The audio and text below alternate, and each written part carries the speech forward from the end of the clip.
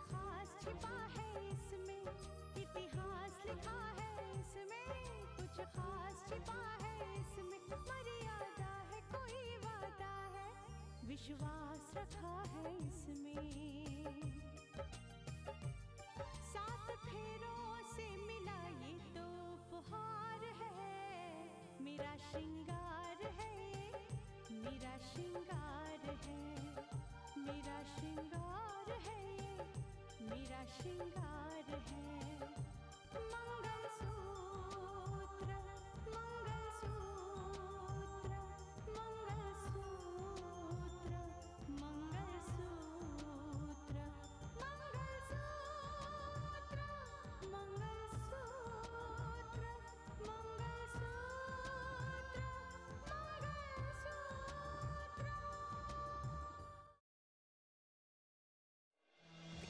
भाई को आपने।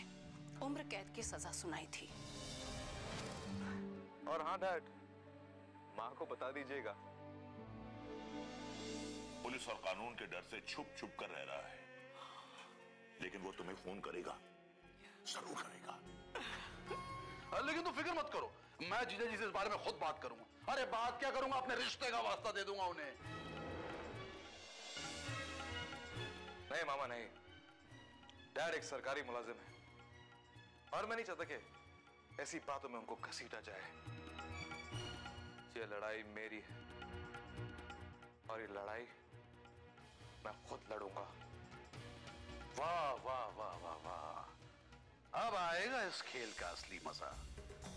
बेटा, तुम अपना बदला खुद लेना चाहते हो या अपने पैरों पर खुद कुल्हाड़ी मारना चाहते हो? मैंने कुल्हाड़ी तुम्हारे हाथ में दे दी है। उसे चलाओगे तुम और उससे कटेंगे वो जो सब तुम्हारे अपने हैं।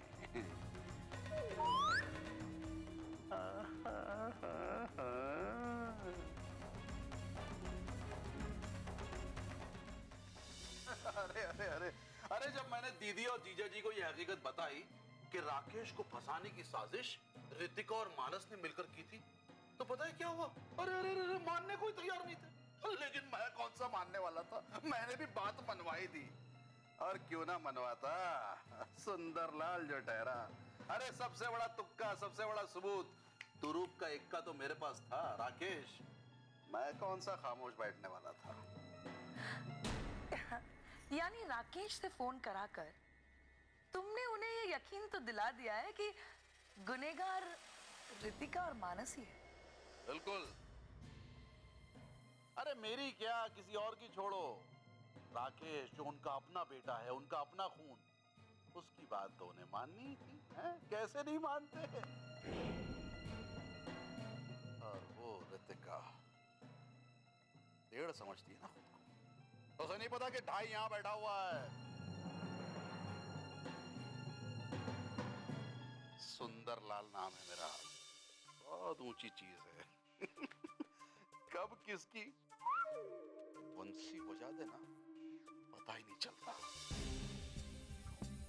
मुझ पर इल्ज़ाम लगाने चली थी, मुझ पर सुंदरलाल पर। मैंने न सिर्फ़ उस पर इल्ज़ाम लगाया, बल्कि उसे गुनेगार भी साबित कर दिया।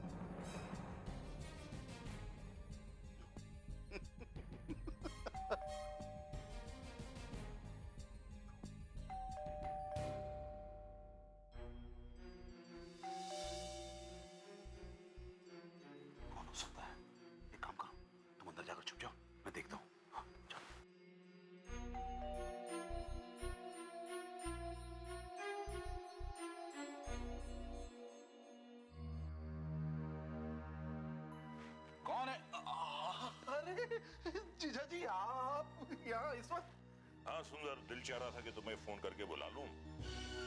लेकिन यहाँ से गुजर रहा था तो सोचा कि तुमसे मिलता चलूँ। हाँ अच्छा किया ना जीजा जी। आइए ना आपका ही घर है। सुंदर मुझे तुम्हारी एक बात पर बिल्कुल यकीन नहीं आ रहा था।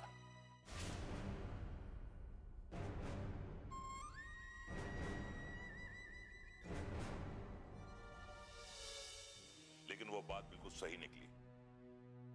और ये साबित हो गया कि जो कुछ भी तुम कह रहे थे वो सौ फ़ीसदी सच है। यकीन हो गया ना जीजा जी? यकीन हो गया ना? अरे मैं तो हमेशा ही सच कहता हूँ। लेकिन आपको मेरी कौन सी सच्चाई सौ फ़ीसदी सच लगी? सुंदर सुनोगे तो तुम भी खुशी से झूम उठोगे।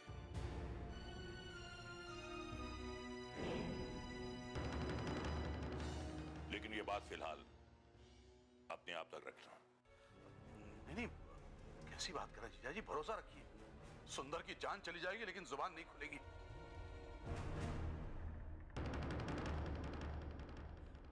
आप बोलिए ना कौन सी बात? सुंदर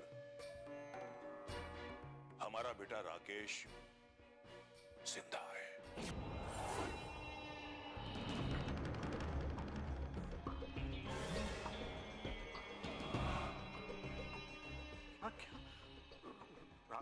राकेश ज़िंदा है? अब- अब- क्या क्या क्या कह रहे हैं आप जीजा जी? मुझे तो यकीन ही नहीं हो रहा। हमारा हमारा राकेश ज़िंदा है जीजा जी। आप एक बार एक बार जीजा जी मुझे उससे मिलवाइए प्लीज़। मैं एक बार उससे मिलना चाहता हूँ। मैं कानून तो क्या सारी दुनिया से टकरा जाऊँगा? लेकिन राकेश को कानून के हवाले नहीं होने दूँगा। लेकिन जीजा जी कहाँ कहाँ है राकेश? मुझे नहीं पता। उसका फ़ोन मेरे पास आया था।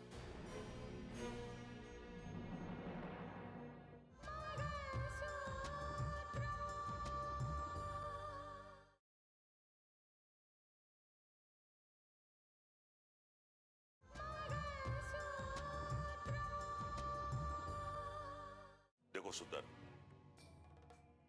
फ़िलहाल हमें यह कोशिश करनी चाहिए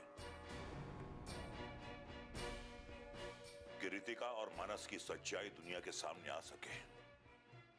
और कानून की नज़र में हमारा बेटा बेगुनाह साबित हो। हाँ बिल्कुल जीजा जी। शायद आपको नहीं पता। मेरी ज़िंदगी तो अब इसी मकसद के लिए जी रही है कि मैं राकेश को सारी दुनिया के सामने बेगुनाह साबित कर सकूँ। अरे, मैं चाहता हूँ कि मेरा अपना बच्चा, मेरा भांजा दुनिया के सामने बेगुनाह साबित हो। इसके लिए मैं रात दिन एक कर दूँगा, ज़मीन आसमान एक कर दूँगा। लेकिन अपने बच्चे को बेगुनाह साबित करके रहूँगा।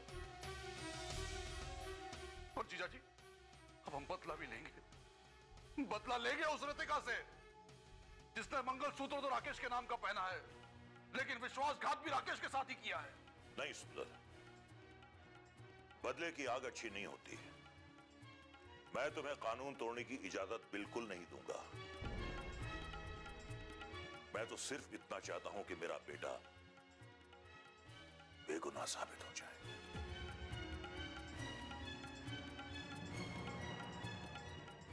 हाँ हाँ, ठीक है जीजा जी जैसा आप ठीक समझे। आकर अपनी दीदी से मिले ना। इस खबर से तो उनको नई ज़िंदगी मिल गई है। हाँ हाँ ज़रूर आऊँगा जीजा जी मैं समझ सकता हूँ।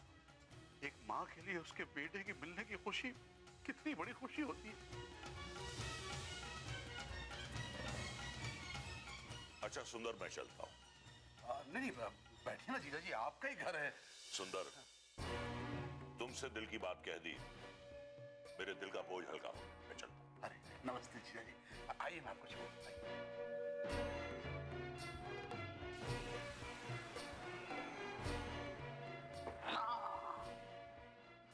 अरे अब तो आ जाओ।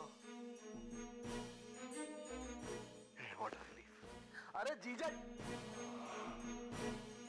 जीजा जी मुझे वो खुशखबरी सुनाने आए थे जो खुशखबरी मैंने ही उन्हें दी है। बंदा भी मेरा प्यादा भी मेरा खुशखबरी में मैंने इन तक भिजवाई। ये सारा खेल सुंदर लाल का ही रचाया हुआ है। अफसोस हाय हाय हाय। बेचारे जीजा जी। ha ha ha ha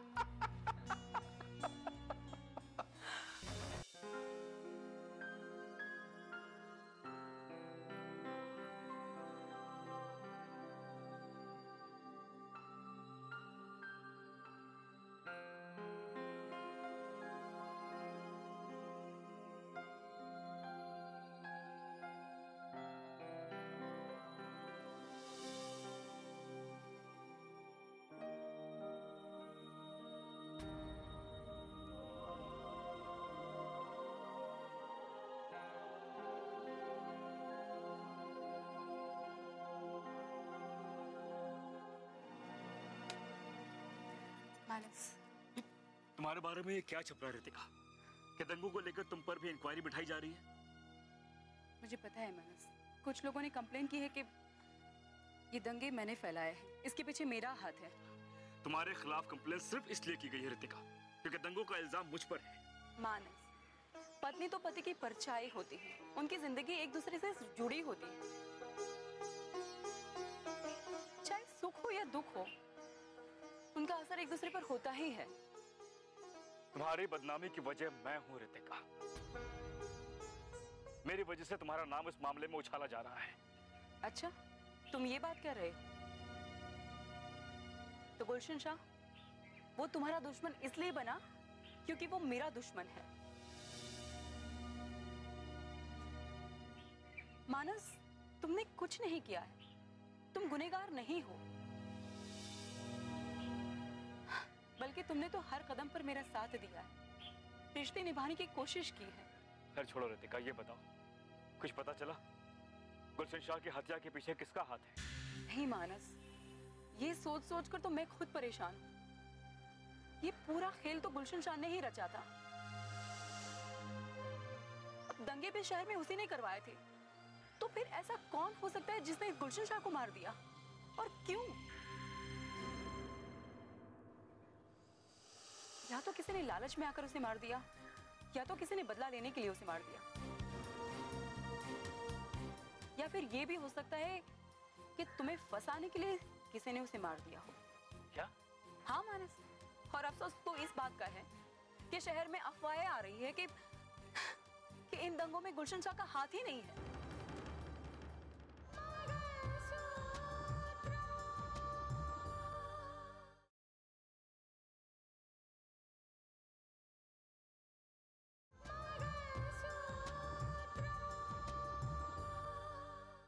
लेकिन शमशेर से ये झूठा बयान दिलवाया जा रहा है कि मैंने तुम्हारे ज़रिए गुलशन शाह का कत्ल करवाया।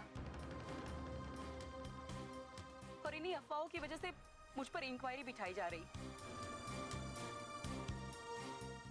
पर कोई बात नहीं। मैं किसी के भी सामने सर झुकाने वाली नहीं हूँ। लड़ूँगी। मैं ज़रूर लड़ूँगी। मानस, तुम फ़िक्र मत करो। मैं कुछ भी करूँगी, लेकिन तुम्हें बेगुनाह साबित करके ही रहूँगी? अपना ख्याल रखना। चलती। हूँ।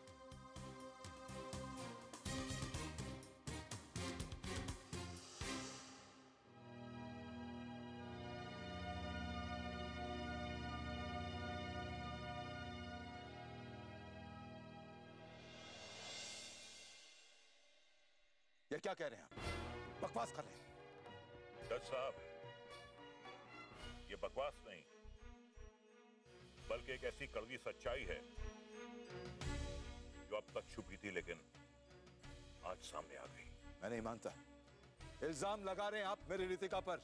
आपके कहने से मैं इसे झूठ नहीं मान लूँगा। बहुत नाटक खेला है आप लोगों ने हमारे साथ। आज तक हमारे सामने यह दावा किया जाता था कि राकेश के माथे पर लगा कलंक रितिका मिटा देगी।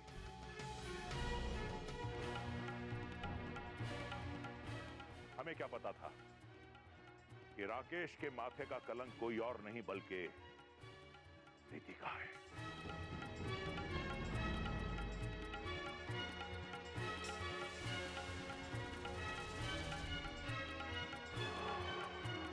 हैरानी हो रही है मुझे आपके मुँह से ये सब सुनकर। क्योंकि अगर आप ये सब कह रहे हैं तो मैं अच्छी तरह से समझ सकता हूँ कि ज़रूर गुलशन शाह और उसके साथियों की रची हुई साजिश है। आपको धोखे में डालने की कोशिश की जा रही है। अब तक धोखे में था। अंधा था मैं अंधा, जो इस हकीकत को समझ नहीं पाया। मुझे क्या पता था कि जिस लड़की को बड़ी शान और शौकत के साथ में अपने घर की बहू बनाकर लाया हूँ वही बहू एक दिन मेरे घर की तबाही की सबसे बड़ी वजह बन जाएगी। बस कीजिए राजेश्वर जी। रितिका पर यह इल्ज़ाम मैं बर्दाश्त नहीं करूँगा। बर्दाश्त करना पड़ेगा ये कड़वा सच आपको बर्दाश्त करना पड़ेगा। क्योंकि ये एक ऐसी सच्चाई है जिसे आप कोई भी झुठला नहीं सकता कोई नहीं। क्या सबूत है आपके पास? कि रितिका ने ये सब किया है।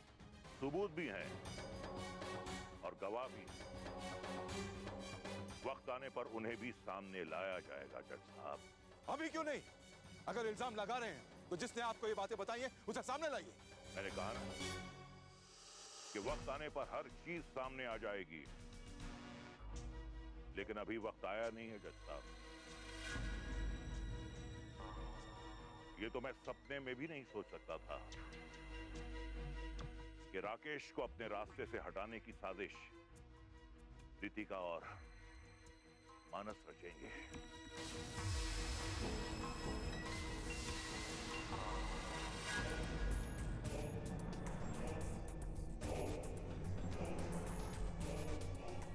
ताकि उनका रास्ता हमेशा हमेशा के लिए साफ़ हो जाए। तरस आता है मुझे आपकी इस सोच पर। कितनी छोटी और ऊँची सोच है आपकी। रितिका के बारे में ऐसा सोच रहे हैं?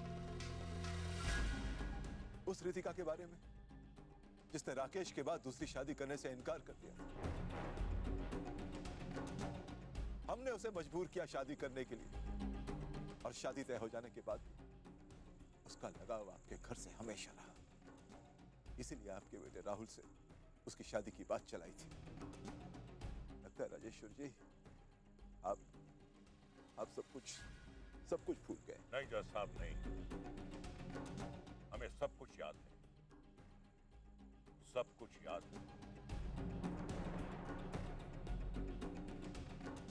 नीलमा का इस रिश्ते के लिए कोशिश करना भी याद है और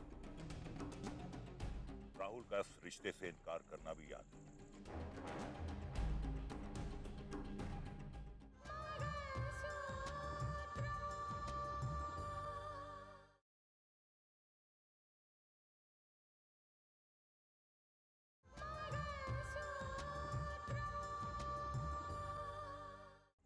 ऊपर वाले के शुक्रगुजार हैं। उसने ये रिश्ता होने से रोक दिया अब हमारे सामने एक ऐसी कड़वी सच्चाई आई है।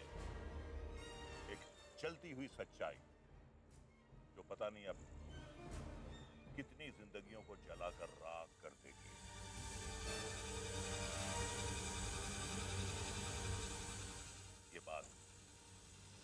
कह देना अपनी लाडली बेटी से।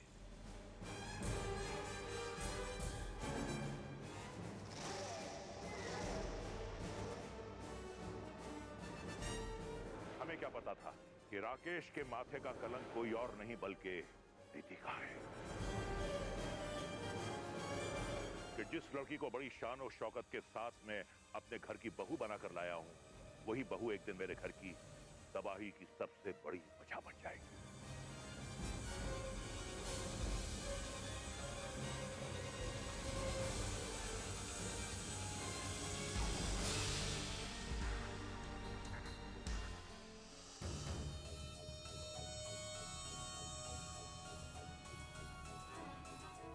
कलेक्टर हो गई तो क्या हमें दबा कर रखेगी? हम पर हुक्म चलाएगी? आज उसकी इतनी हिम्मत हो गई कि काजल पर हाथ उठाए। सुजाता ज़रूर काजल ने कुछ ऐसा वैसा किया होगा जो रितिका ने हाथ उठा लिया। वरना रितिका ऐसा कभी नहीं करती। क्या जेठी? क्या इस घर में कोई अपनी ज़ुबान भी नहीं खोल सकता? सच बोलने पर भी पाबंदी है? एक मिनट माँ। सच क्या है और झूठ क्या है वो रहने दीजिए। लेकिन काजल ने जो रितिका भाभी को कहा वो बिल्कुल अच्छा नहीं था। अगर रितिका भाभी की जगह कोई और भी होता ना तो वो बर्दाश्त नहीं कर पाता। जरा आप ही सोचिए अगर कल को मैं किसी और के घर शादी करके जाती हूँ और कोई मुझे ऐसी बात कहे तो क्या मुझे अच्छा लगेगा? तुम चुप रहो साक्षी। बड़े पापा की माँ से पूछ लीजिए कि काजल ने भाभी के लिए क्या कहा था।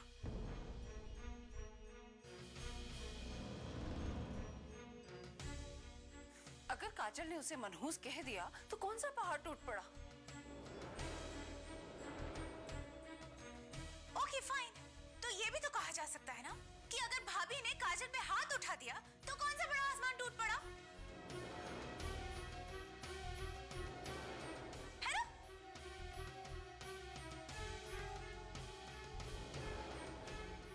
रितिका तुम वहाँ क्या कर रही हो?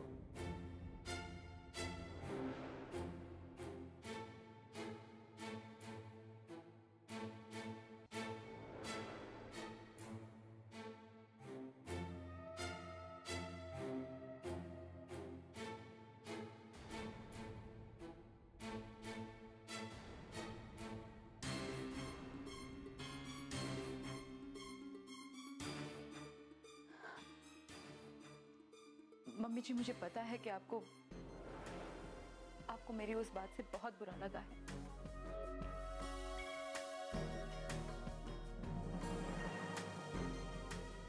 आप प्लीज़ मुझे गलत मत समझिए, लेकिन हर इंसान को तहजीब और तमीज का ख्याल रखना चाहिए।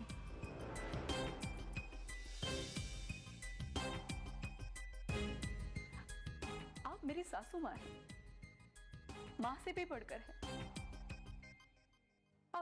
बनता है। आप आप जो कुछ भी कहेंगे, मैं बर्दाश्त कर लूँगी।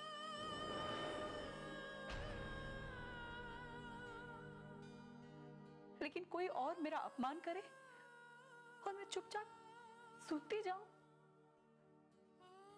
नहीं, मैं बर्दाश्त नहीं कर सकती हूँ।